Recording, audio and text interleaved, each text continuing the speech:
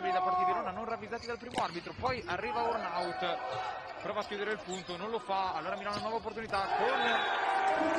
Leandro Mosca ma Ishikawa zitto fare questa volta al palletto Ishikawa